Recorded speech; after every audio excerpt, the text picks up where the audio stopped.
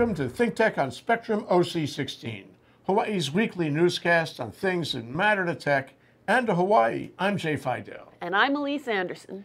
In our show this time, ThinkTech's Ian Davidson showcases more of the stories our volunteer hosts are covering on the street. We'll hear what people are saying about the efforts to remove the Pacific Paradise shipwrecked in Waikiki. Senator Daniel Akaka shares stories that helped shape his career, and we'll take a peek at what may be the only coffee tree growing right in the middle of downtown Honolulu. So here we go, back on the street with Ian Davidson. Thanks, guys, and thank you for tuning in. I'm Ian Davidson. One of the great things about working here at ThinkTech is working with our volunteer hosts. They come in, they tell us that they want to produce a story, and we go out and help them do that. This week, we've got a few of those stories to share with you. Um, we're really excited about them. Thanks for tuning in. Enjoy. My name is Nat Bletter, and our company is Madre Chocolate, and we're the first bean to bar chocolate company on Oahu. So that means we take these cacao beans and turn them into chocolate bars that are now winning multiple international awards. So tell us now. I just discovered, as you were saying, that these this is the that comes from the tree. Yeah, this is the cacao fruit. Uh, they grow on the tree. We actually have a few in our backyard here uh, in Chinatown. So we're growing Chinatown cacao. Um, and uh, we get most of our cacao from North Shore of Oahu, uh, Windward Side, and Big Island. Um, and we or the farmer will take these fruit, crack them open, take out all the delicious uh, lychee tasting pulp that surrounds the seeds, and ferment those for about a week, uh, which is the most important part of the process that no one ever hears about and then and then we'll uh, dry them, age them, roast them, crack, winnow, conche, temper, and wrap them. So it's only 12 steps in two months from this fruit to a finished chocolate bar. How long have you been doing this? I've been making chocolate for about 10 years, and Madre chocolate is almost seven years old now. This seems like, well, everybody eats chocolate, and uses chocolate for any number of things. Mm-hmm. How did you come with this special Madre chocolate that's s- s- winning awards and so much better than everybody else's? How did that happen? Um, a big part of it is uh, understanding and respecting the history of chocolate from where it was invented in Latin America uh, and working really closely with the farmers in Hawaii uh, and, and around the world for that fact. Um, so, since the farmer is usually doing the ferment, and that contributes about three quarters of the flavor to the final chocolate bar, uh, you, we need to work with the farmers to make sure it goes the best way possible. And in Hawaii, cacao has only been grown for about 20 years in any large scale, so no one can learn from their ancestors how to do the ferment. So we've gone to Mexico, Belize, Guatemala, uh, Peru, Bolivia, Ecuador, and studied how it's traditionally fermented and brought that knowledge back here. You said uh, the history. How long have mankind been making chocolate? Uh, the earliest record we have now is about 4,000 years ago in uh, Honduras uh, by the even before the Maya or the Olmec, probably their their predecessors. So it's pretty old. And so since the people in, in Central America have been working with chocolate for 4,000 years, we think they probably know what flavors to combine with it that work well. So we do a lot of those traditional flavors like uh, chili chocolate, and um, we use another fruit called a jaguar cacao that's traditionally mixed with, with chocolate in Central America. On, on First Fridays and other special events, we do drinking chocolate, and I'm about to go to the Northwest Chocolate Festival in Seattle. I'm going to give a talk on traditional uh, drinking chocolate because that's how chocolate was originally conceived as a drink, not, not as a bar. Well, they don't grow any cacao in Europe. So when you say European chocolate, that means it was just made there. The beans always come from the tropics. So uh, up until recently, it's been difficult to make chocolate where the cacao grows. So um, Hawaii is one of the first places that's happening where we have the cacao farmers and the chocolate makers right next to each other. So that can never happen in Europe. So you don't get this closed feedback loop that we have here for really improving the cacao very quickly. My name is Dante Tanner, and you're watching Think Tech on Spectrum OC16.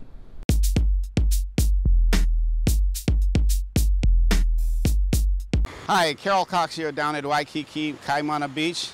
Going to talk to people about uh, the recent sinking of the Pacific Paradise, a longline fishing boat that ran aground here some weeks ago and is presenting a very serious health problem, environmental problem, busting up the reef, introducing oil. Uh, we don't know when the boat is going to be removed, so we're going to ask some questions and get some comments from the public. So come on and join us. I've swum down here for 50 years, Uh huh. and for two days I smelled oil in the water, but that's gone away. And it might have been because the waves were getting going over the boat and sloshing what oil was inside. Mm-hmm. Uh, my opinion, like everyone has one, Right. about how they should handle it. I swim here every day. Is the first day I was here, which was the first day I was on the reef, the boat was just teetering there. It wasn't stuck badly, but the waves came and it drove it further up onto the coral reef. This is what I figured happened. Mm-hmm. I would have been there the first day with three or four tugboats. Tugboats, now, Yeah. not light No, boats. Something with tugboats. torque. I would have had three or four tugboats and pulled it off right then and mm-hmm. there. They had their chance because I don't think there was a hole in it. I'm mm-hmm. just guessing. but Right. that's my opinion. So, do you think, in your honest opinion, do you think this matter was handled properly or efficiently? And we'll say that. We won't be critical. Yeah, uh, efficiently, or they could have done better. All I could say is they should have had three or four tugs the first day there, right. and they didn't. So Okay. yeah, And and that's so, what I think they should have done. Uh, do you think that this poses a risk to the the coral reef there and anything else that's in, in here as it sits now? I don't. Maybe where it's sitting, but I don't see how it's going to destroy anything else. It's just the coral upon. It's the coral upon which the ship sits. The boat's only 70 feet long. So And uh, by the way, what was the purpose of this boat and its voyage? Do you, have you heard anything about? I've heard it? conflicting stories. One that they were bringing fishermen here Mm-hmm. from Samoa, who and they in turn came from the Philippines, and uh, Indonesia and Vietnam. And I also heard that they were transporting illegals. So uh, Mm-hmm. there's been two stories in the newspaper. Nobody knows what's happening on that score. But Uh, well, it should have never happened. You know, there's a lot of mysteries. People don't know, still don't know to this day, you know, why it crashed. You know, what what happened. The, the motor die, you know, did they scuttle it? But uh, yeah, it's a shame. It's right on a nice reef where there's a surf break and, you know, So, uh, do you have any concerns that it, by laying there now, it might break up in the future and then present a problem for the coral, the surfing? Do you think it'll impact the break? uh, I think so. Is it um, having an influence on it now? You think? I know Kent might know the lifeguard here, but it's a solid metal hull, so I don't think it's going to break up anytime soon. But mm-hmm. the coral, being much softer, is going to take the brunt of the toll. You know, mm-hmm. every time there's a storm or Kona winds, it's going to move around and crush the coral heads even worse. So, So- great if they get it out of there What are some of the rumors you hear about of it being here? Just rumors, as you, I've heard a number of them. What have you heard? Um, I don't not well. I don't know if you call them rumors, but just what I've been reading in the paper. You know that 20 guys on board, 20 on board. sleeps 10, and came back from you know the south, but with no fish and all that. So I don't know. Just a lot of sort of uh, unanswered questions. And They've even tossed, some of our legislators have even tossed it, the suspicion that it was human trafficking and uh, slave labor. Is- have you seen anything uh, indicate that? I don't know. That's you know the immigration IIC would know more about that, Mm-hmm. but uh, I don't know. Yes. Okay. Uh, I do. It's. I understand it's probably more difficult than we might imagine to remove it from the reef.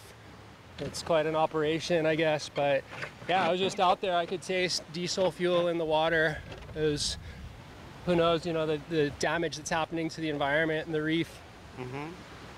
So they, they say an estimated 1,500 gallons still remains on the boat. Uh, that was as of last week. So you today tasted oil, uh, diesel, Yeah. as you're surfing, and I most certainly did. I actually first time I was curious and sort of paddled up close to check it out, and there's a strong taste of smell and taste of diesel in the water. Well, I think it needs to be handled uh, as a tourist. Like now knowing that, it's kind of concerning to go in the water. Yeah. But and all like the fact that it's affecting the marine life as well. I think that the ship needs to be dealt with and shouldn't just stay out there. Yeah. And and this is beautiful Waikiki. Oh, it's stunning. It is stunning. beautiful. It's absolutely beautiful. It is yeah. Even with the bad impression. I know. Yeah. I knowing what's on the boat. Yeah. Yeah. That's concerning to me. Yeah, for sure. It is a it is a really negative uh, environment impact. Uh, If they got the oil out, they could leave the boat. But other than that, if there's still oil on the boat, I suggest that they get it out here as soon as they can. Yeah, we have a lot of those up in Alaska, you know, when people are out, you know, crab fishing and things like that, and they lose their boats in some of the craziest ways you can imagine. But, Yeah. you know, it's, you know, most of them are unsalvageable because they're in fairly deep water and they get swamped and then sink, you know. But you are in agreement that this is no place for a No. sunken boat. no, because it's right just, it's just going to make a me- it's just going to make a bigger mess when it breaks up. All right. Um, probably like 40 yards away, you can really start smelling it. But Mm-hmm. smelling like it's more of just like where everything's been burned, just the smell of burnt plastic and Burnt in the plastics and diesel oil. Yeah. huh? Yeah. Did you feel it on your skin or anything when you come in? No. So one gentleman said he was out there surfing and he'd actually tasted and swallowed Yeah. some of it. And then Yeah. someone else said about a half But mile try down. not drinking the water. So Yeah, but you know it's hard. if you're a surfer, you know you're going for it.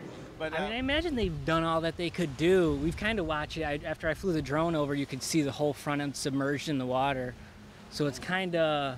We actually saw the fire actually about Yeah, a week or two after I the fact. I personally don't think that they have made the best effort that they could because we've had multiple days where they could have made an attempt to remove it. Um, we called the fire department one night because there was a fire on board and we could literally see the flames from our room and they let it burn all night instead of, I don't know, trying to put it The out. manager said that the fire department said it's a Coast Guard issue, so they don't even report or aren't following up after that point. And then like the next day they came out with a helicopter to put put the fire out when I feel like they could have done that the night before and then attempted to remove the boat the next day. I don't know, it just it's not it doesn't seem like it's been the best effort to pull the boat out to me and to protect protect the environment because I know they've taken off fuel and stuff like that, which is I mean thank God for that, but um, with the fire and everything, it just doesn't seem like they've done enough. They've done enough, yeah. Alrighty. We're standing back of uh, the Outrigger Canoe Club, and you're looking out over my shoulder there. You'll see the Pacific Paradise, a vessel that ran aground more than two weeks ago. And we're down here just to try and gather some information, what people saw and what they know and what do they think. If asking the questions, did the state health department, the state land and natural resources, the United States Coast Guard do enough, quick enough to have prevented this?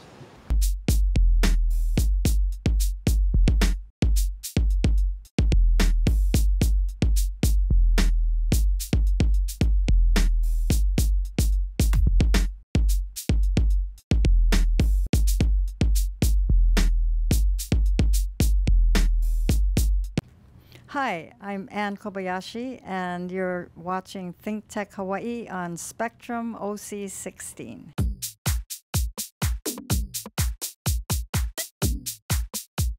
I feel really blessed because I had a father who was uh, Chinese and Hawaiian. Um, his father came from China, from Fukien. And this was in the 1800s. Now, he's one of the early Chinese.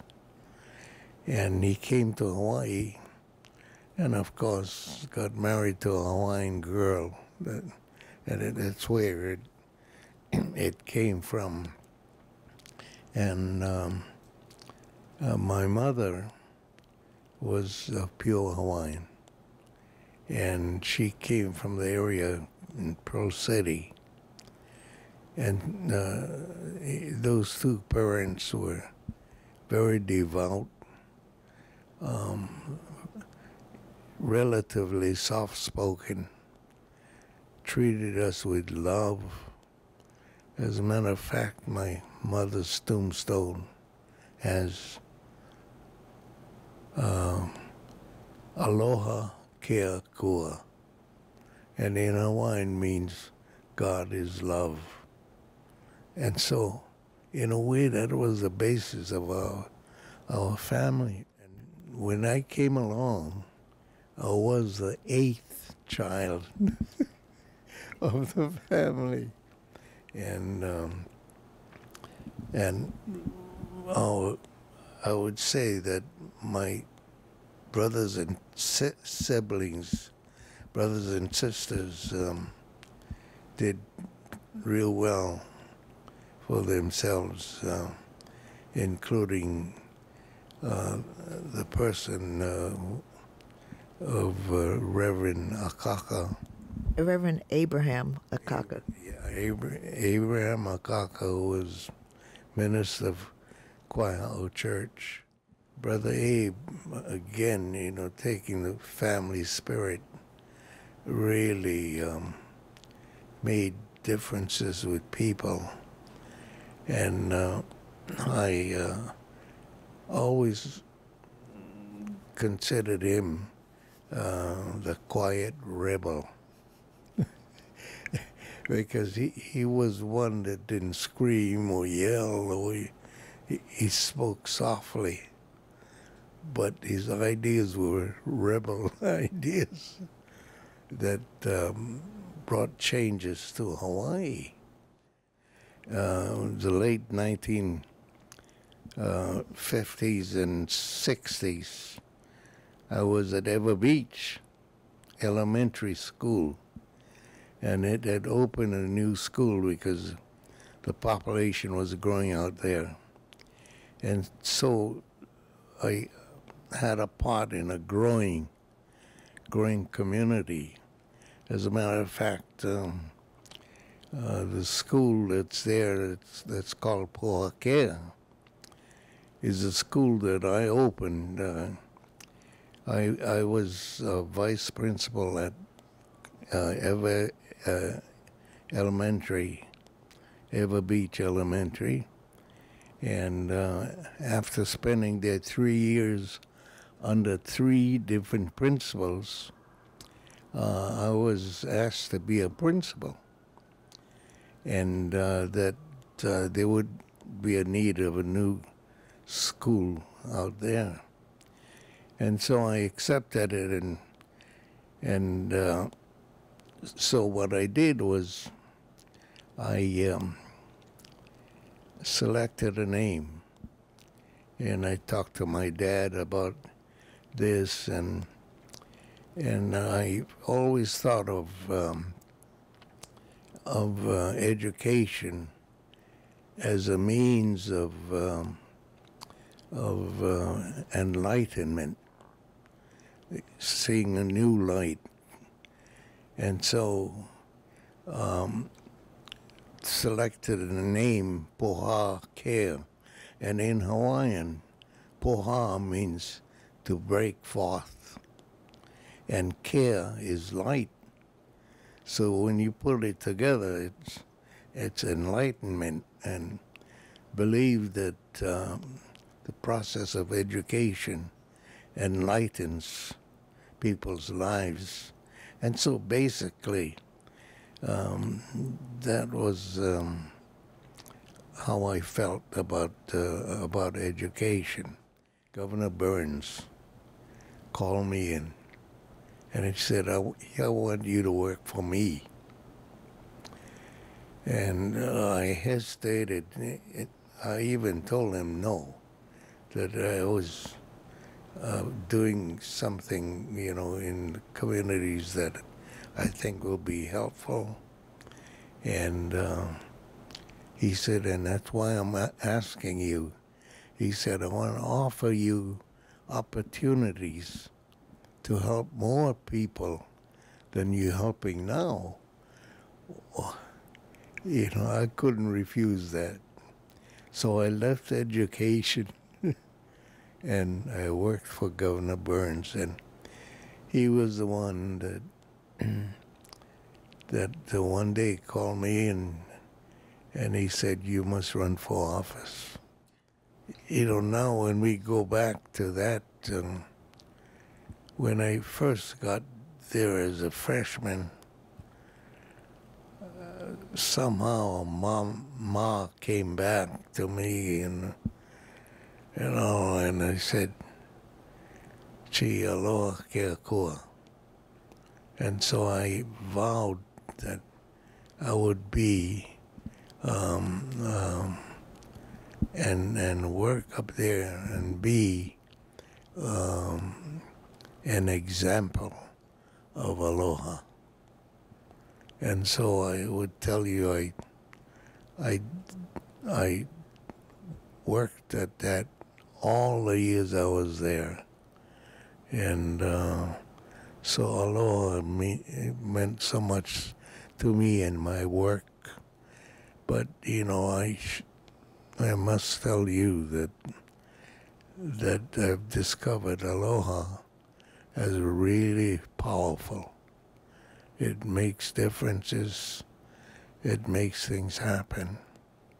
It brings people together to help you. Um, it uh, brings a kind of relationship uh, that's uh, uh, trustful. And so, so many things come out of that. And, and so the, the power of, of aloha And there's lots more on the street too on ThinkTech. Check it out at thinktechhawaii.com.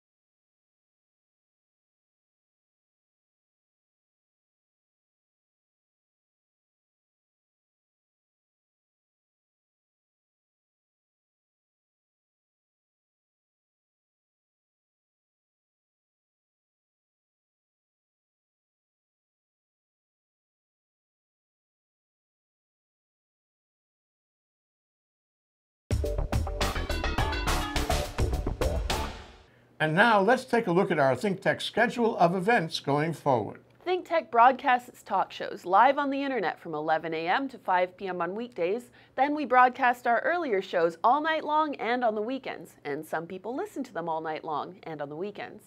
If you missed a show or if you want to replay or share any of our shows, they're all archived on demand on thinktechhawaii.com and YouTube. For our audio stream, go to thinktechhawaii.com slash audio. And we post all our shows as podcasts on iTunes. Visit thinktechhawaii.com for our weekly calendar and live stream and YouTube links, or better yet, sign up on our email list and get our daily email advisory for the daily docket of our movies and shows. ThinkTech has a high-tech green screen studio at Pioneer Plaza. If you want to see it or be part of our live audience, or if you want to participate in our programs, contact shows at thinktechhawaii.com. If you want to pose a question or make a comment, call 808-374-2014 and help us raise public awareness on ThinkTech. More than ever, ThinkTech lives on the internet. And yes, in its ongoing efforts to push the innovation envelope, ThinkTech is getting into crowdfunding. Here's an example of an animated video in our current Give Thanks to ThinkTech fund drive. We're at the midpoint in our month of November campaign, Give Thanks to ThinkTech. Please help us reach our goal of raising $40,000 so that we can continue to provide Hawaii's only digital media platform streaming 35 hours a week of information, ideas, and news to our community. We extend our thanks to you for supporting ThinkTech Hawaii, and we wish you and your families a Thanksgiving full of aloha. And here's the link. We hope you'll check it out and help us out on the fund drive. Go ahead, give us a thumbs up on YouTube or send us a tweet at ThinkTechHI. We'd like to know how you feel about the issues and events that affect our lives in these islands and in this country. We want to stay in touch with you, and we want you to stay in touch with us. Let's think together.